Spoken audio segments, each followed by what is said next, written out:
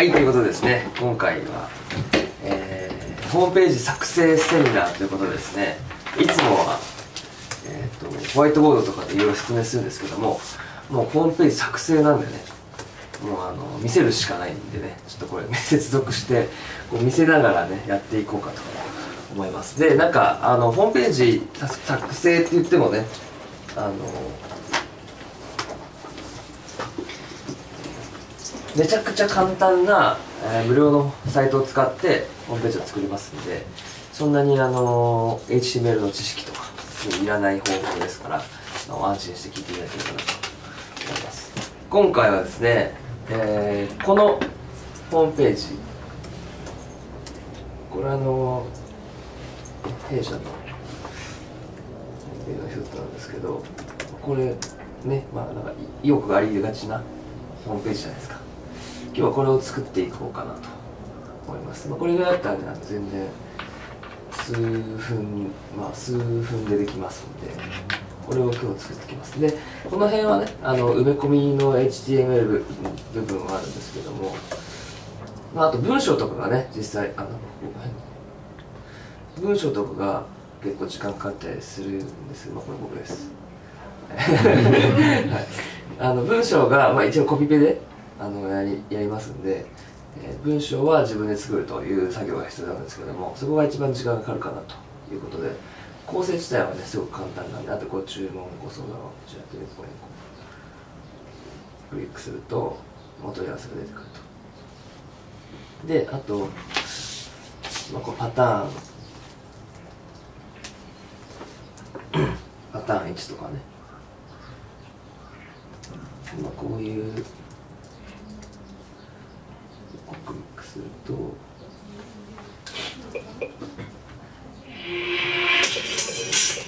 あこういうのが作れますよみたいなサンプル1みたいなね感じです。これ何個もこうこれ自分であの作れますんでこんな感じで。はい。ということでこれを作っていきます。もし今パソコン系持っているのであればタブレットでもね作れんじゃねって思うんですけどできれば一緒にやってほしいですね使うサイトですがえっ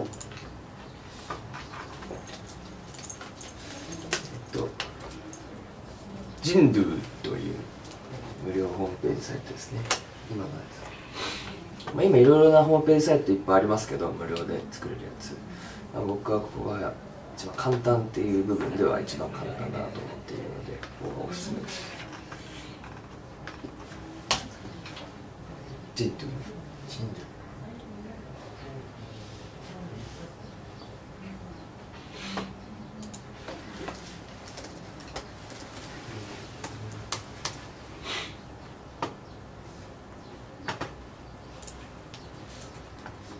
登録しちゃった方がいいんですか？はい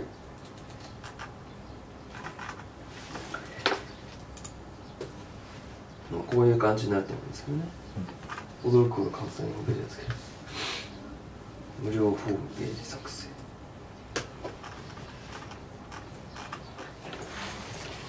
今日のモデルはこれですね。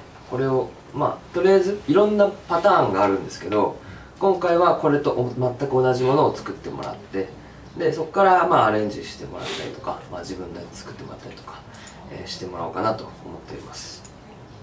ということですね、えー、ここにいろいろレイアウトがあると思うんですけどもこれのねビジネスっていうところを選択してくれてもらってで、えー、これですね。ここのこのデザイン。これ。わかります？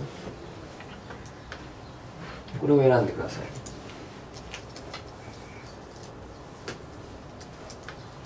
そうするとメールアドレスパスワードを入力するところがありますのでこれでメールアドレスパスワードを適当に自分のねやつを入れてみてください。はい。ではまあ「人人ドゥへようこそ」ってね早速始まりましたけども。じゃあこれをですねこうカスタムしていきます。でえー、っとまずですねこのここまでに来た編集画面っていうのがここにあると思うんですけど編集画面に行くとこんな感じになります。編集画面。はい。これ合ってますよね。皆さんここになってますこのページ。はい。レイアウトとかスタイルとかね。はい。これジンドゥのいいところっていうのはこのもうここいじれるんですよすでに。ここもういじれちゃうんですこうやって。これ移動させるだけですちょっと今いろいろ触ってほしいんですけど。こうやってね。感覚的にいじれるんですよね。この横のこのこのマークあるじゃないですかこの。このマークをドロドラッグしてこう移動させると場所を変えることができる。へえめちゃくちゃ簡単ですよね。同じの2個できちゃっで一旦これちょっとこれちょっとこの画像ちょっと一旦保留みたいな。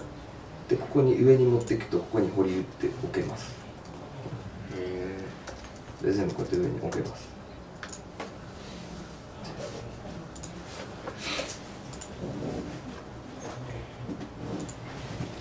でコンテンツを追加したいと。いう場合はこのコンテンツを追加っていうのこうなんかこうやって動かしてるとこうやってちょいちょいこれなんかピキピキピキってなるじゃないですか。このピピピピピピピって。このコンテンツを追加っていうこのライン？このやつが出たらここでなんか一区切りやるってことです。なんかこういうこういう塊？今こういう塊で構成されてるじゃないですか。これ塊この塊この塊この塊でこれ構成されてるんですよね。この塊があってこれがこういうふうにはめ込まれてるだけですよね。でここに新しくコンテンツを追加って出てるところはここに新しくはめ込めるってことです。あの自分の好きなやつを。ここをコンテンツを追加例えばやってえー文章って入れるとここに文章が入るっていう感じです。これ自分で決めれるんです。めちゃくちゃ簡単ですよね。入れたいところになんか自分なりに入れたいところがあったらコンテンツ追加ってやって自分で入れる。もともとあるやつを使うんだったらそのまま使うと。いうような感じです。ではですねじゃあこれこれをこれにするにはどうしたらいいのかと。このねあの見本の見本にじゃあしましょうということでまずここにロゴを会社のロゴを入れなきゃいけないですよね。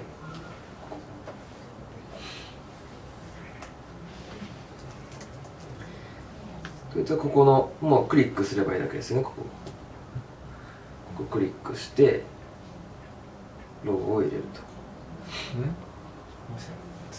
はい。どこでしこのここですね。ロゴあるありますよねあ隠れちゃってるんでその矢印を。はい。そうそうそロゴを変えたい場合はここロゴを変える。はい。ここを押すとこのこのマーク出ますよね。このマーク。これが変えるってマークなんですよ。これをこう選択するとまあこういう風になるわけなんですけど。でこれ例えばこのロゴですよね。この場合ははいじゃあこれをまあこれ変えましたと、まあ、変えたっていうことにしますね。そしたら次はこれ業界最安値の応募作成ってありますね。これを作っていきます。でも逆にこれもいらないですよね。これ。いらないですよね。いらないのを消しちゃう。ゴミ箱マークで消えるんで。サクサク消していきます。でこのコンテンツを追加っていうところを押してもらってこの水平線を選んでください。この水平線。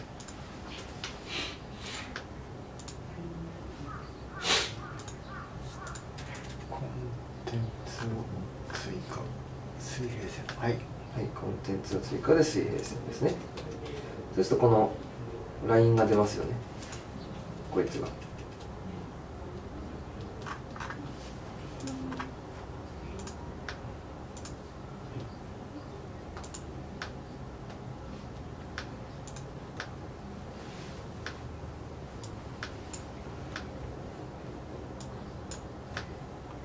でこのラインを作ったらその上にその上のコンテンそのラインの上にまたコンテンツを追加って出るはずなんですよ。こんな感じで。はいじゃあ続きをやります、えーこの線の上にコンテンツを追加っていうふうに出ると思うんですけどここを押してもらうともう文章っていうのが出ます。次文章をここにコンテンツとして入れてください。そうするとここに文字が入力できるようになりますよね。はい。こんな感じになるはずですこんな感じになってるはずです。ということでこれであのこの状態だとなんかちっさって感じじゃないですか。ちっさって感じ。ちっさって感じだしもう色とかもおかしいんでこれを編集していきます。全部選択します。このね編集画面にして。でこれもうホームページとか他の HTML 系とかブログとかでも同じだと思うんですけどほとんどブログとかと同じ仕様でできます。まず中央に。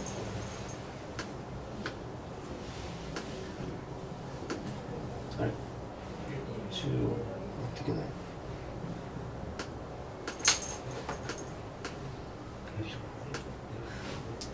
とりあえず色色と場所とこれテキストカラーっていうのがあるんですよ。これを変えるとこれ色変わります。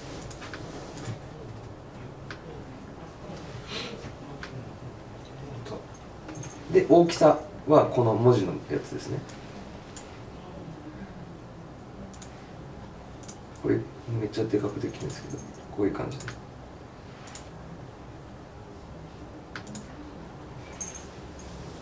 るとこうできます。あこれちょっと真ん中にならない真ん中にならないとちょっと。真ん中にならない人はこうやってかいあのスペースで真ん中にしちゃってください。とりあえず。本来なるはずなんです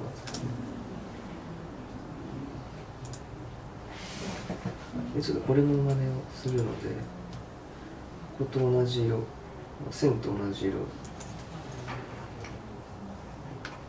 したいて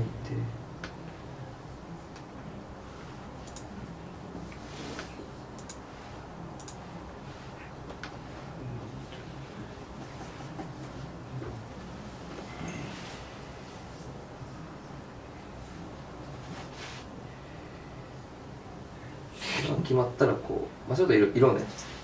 あの同じにするのちょっと時間かかるんで。今回はとりあえず赤にしあ赤にしときましょうか。赤赤で、はい、で保存。そしたらこうなりますよね。ちょっと近づいてきましたね。ね。でこれできましたと。そしたら次動画ですねこれ。動画こう動画入れますとでえっ、と動画。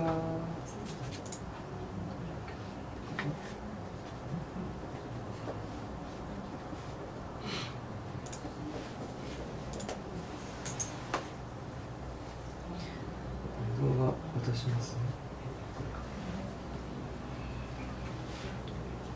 JEC とか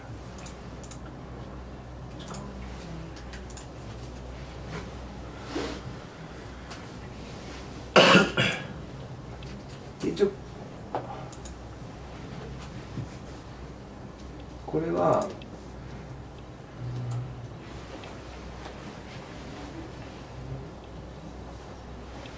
このコンテこのこの線の下ですね。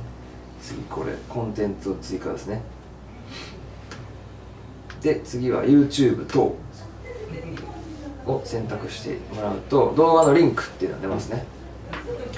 ここに動画のリンクを貼るんですね。ここ。YouTube ってこういうふうになっててこうやってこうやって埋め込みこうよってのが出てくるんでこれをここに入れるとこう自動的にこう反映されるというね。素晴らしいシステムなんですね。ちょっとこれを Facebook で送りますね。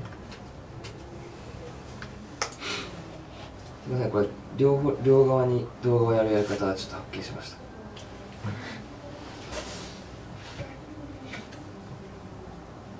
コンテンツを追加と押してこのカラム？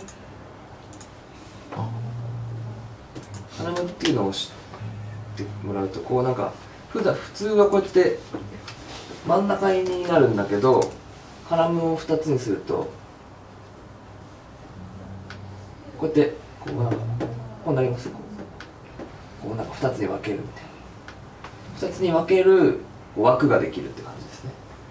でこの2つになる枠ができたらちょっとこれ2つになる枠ができたらこうカラムをここのここでコンテンツ追加ですね。ここで YouTube のリンク。で真ん中に載せて。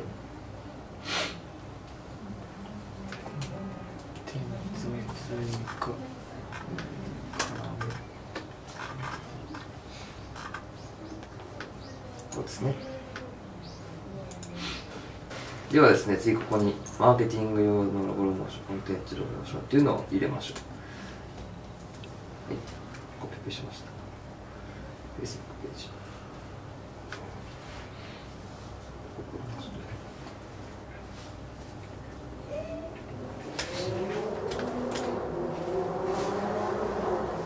あこっちもそしたらまあこれをこの動画の上のまたコンテンツ追加しこうやって次はこの文章ってやつですね。文章。いやそしたら文章が入るようになるんでここに入れると。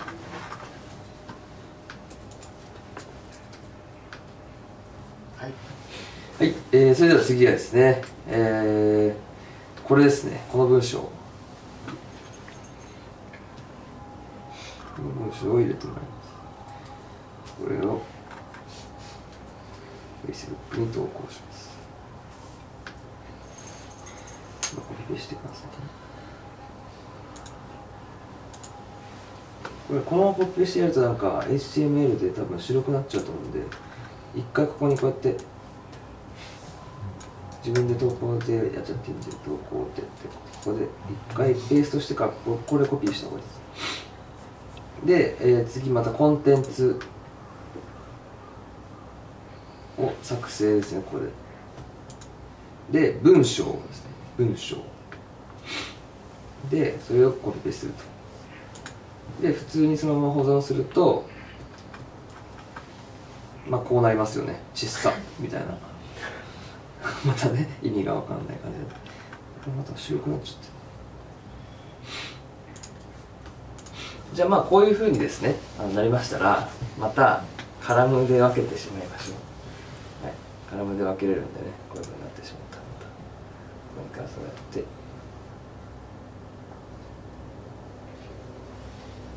同じように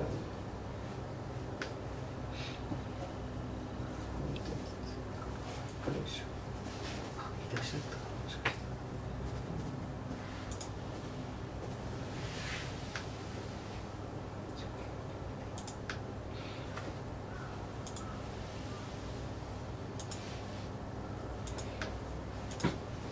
ね、もうカラムでやっちゃえば基本何でもできる感じになるんで。でなんかこれこっちでなんか変な感じだなと思ったらこれもねあのこの下にまたこうやってコンテンツ追加で文章をこうやって作れるんでここがちょっと中途半端だなと思ったら。まあこういう感じとかでねやれば。基本は2カラムにすればね割と何でもできます。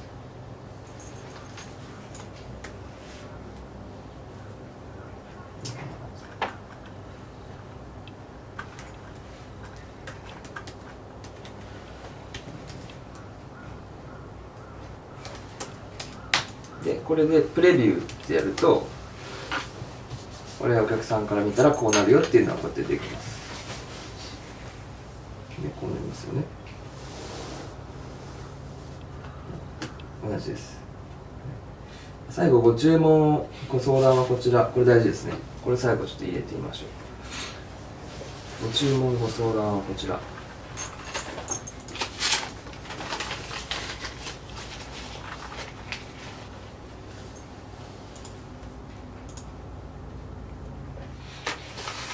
このマーク内部リンクっていうのありますよね。内部リンク。内部リンクホーム会社概要お問い合わせ概要ってありますよね。これはここのやつですねこれ。このホームページ内のここのどっかに飛ばすことできますよとか内部リンクってこのこの中にあるところに飛ばすのが内部リンク。外部リンクっていうのはあのこのサイト外のところに飛ばすってことです。例えばこれ僕のあのメールアドレスあの仕事用のメールアドレスパソコンアドレスに飛ばした部はここに外部アドレスで僕のメールアドレスを入れると。そうするとこうここを押した人はあの僕のメールアドレスを選択する画面になると。例えばこれを。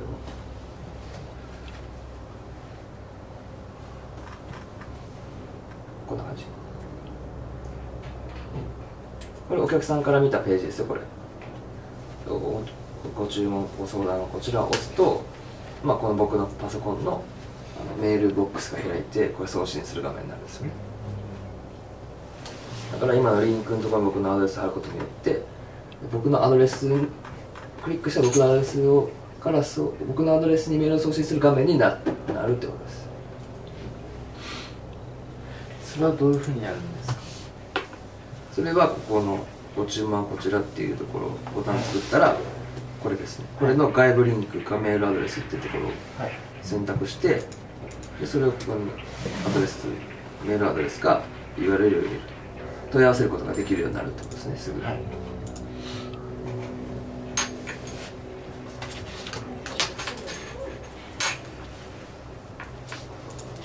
なんかここで例えばフォームメーラーとかね、あのー知ってる方いらっしゃるかもしれない。フォームメーラーとかね。あの独自で自分でフォーム作ってお申し込みみたいなのを作ってここに貼ると結局あそこ押したらと飛ぶっていうね。でもこう人部はそもそもお問い合わせっていうところをつけてくれてるんですよ。だからあのここのお問い合わせっていうところ内部リンクのお問い合わせ飛ばせば実際お問い合わせになります。人部の場合は。だから人部内の内部リンクのお問い合わせをの場所は実際こんな感じです。これ人類が作ってくれてるやつなんで。これ飛ばすのがまあ一番無難かなと思いますね。手間手間もかかんないし。でじゃあこのお問い合わせはどこに飛んでいくかっていうそうそう登録した自分のメールアドレスにそうそうそうそう。それをここの設定で設定できるんですよ。あで自分のメールアドレスをこう設定しておけばお問い合わせ来たらそのメールアドレスに人類からお問い合わせ来ましたっていうメールが来る。なるほどように設定できます。これ転送用メールアドレスとかありますよね。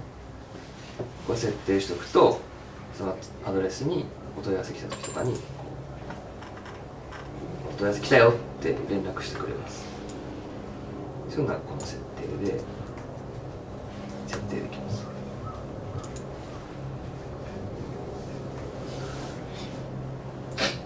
ここまでで質問ある大丈夫ですか？はい。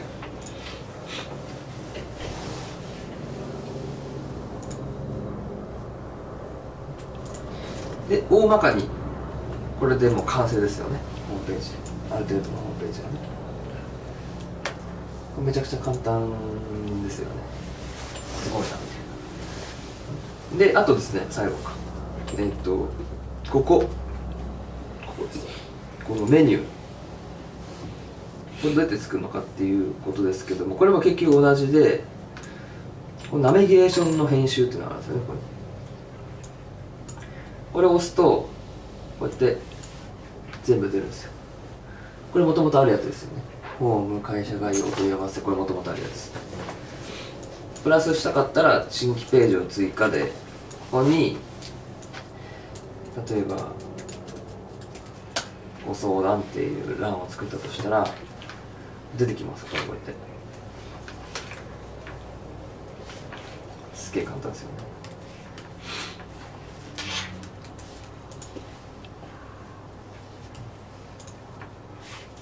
でご相談を押したらどこに行くのかっていうのを次決めたいですよね。ってことはこのご相談の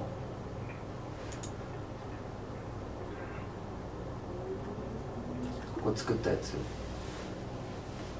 を保存した後にこのご相談に飛ぶんですよ。普通に押すとこうやって飛ぶんですね。ごご相談のページがもう作られてるんでここが。ここでまた同じようにコンテンツ作ればいいだけです。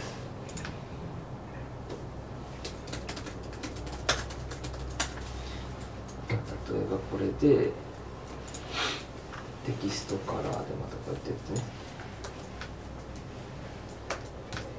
やってボタン内部リンクを取り出せ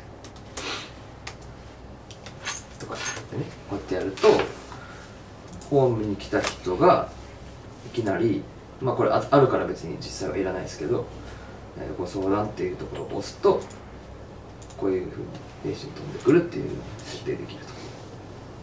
でここを押すとお客さんがここ例えば新しいボタンを押したとしたらもうお問い合わせにまたこう戻ってくるっていうねこのページに戻ってくるそういうふうにこういろいろ設定していろいろこう遷移させることができるっていう感じですね。大体こんな感じです。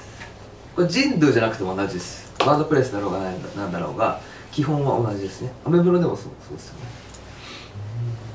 アメブロの記事でもそのリンクなんかテキストに対してリンクをつけたいかったら選択して入れるじゃないですか。飛ばしたいやつを文字の裏に入れるっていうかね。概念としてはボタンを押したら飛ぶっていうのの意味としてはそもそもあの文字じゃないですか。ウェブ上のコンテンツ全て。例えばこれですよね。例えばこのページ。このページが何で何でできてるかっていうと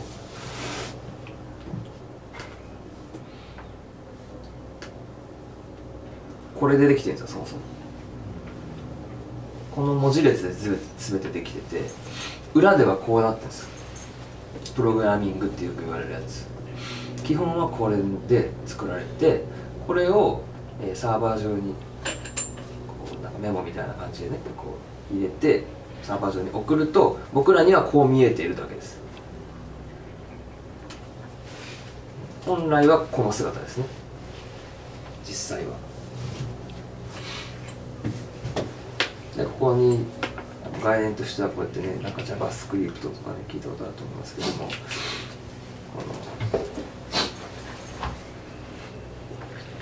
このねこのこれとか。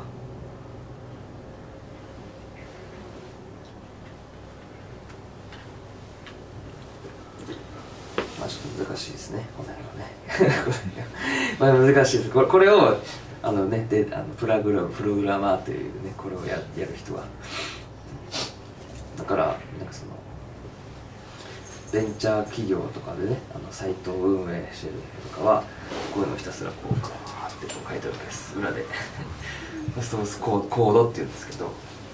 全てのページはこれで構成されてますんで。なんかここで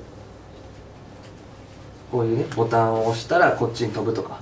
そういう命令もこういうふうにちゃんとこうこうなってると。いうような形ですね。大丈夫でしょうか皆さん。この質問とかありますか？大丈夫ですか？ですね。えっ、と動画で集客動画を使った集客セミナーだったんですけど、まあ、YouTube を主にね使っていくということで、えーそうマーケティングをしていく上で最近はあのお客様の声とかめちゃくちゃ大事じゃないですか。まあ、あのライズアップとか特にそうですけど満足にこうインタビューされて「いやすごいすごかったです」みたいな。そういうのが実際にどういうふうにこう撮影されているのかっていうのをね実際にリアルに体験してもらうというねあのこの前からやっていますのでちょっとそれをね巻き込まれてほしいなと思います。見本を見ていただきたいですね。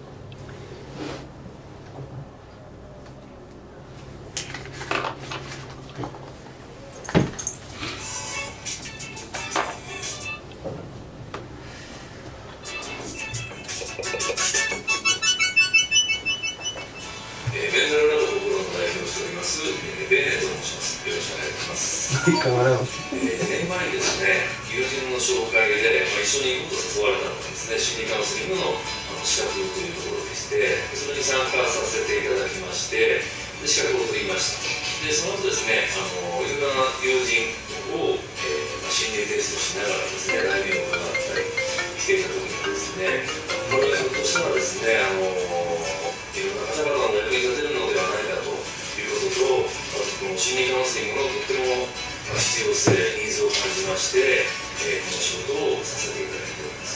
どうその心理カウンセリングって硬いイメージなんですね。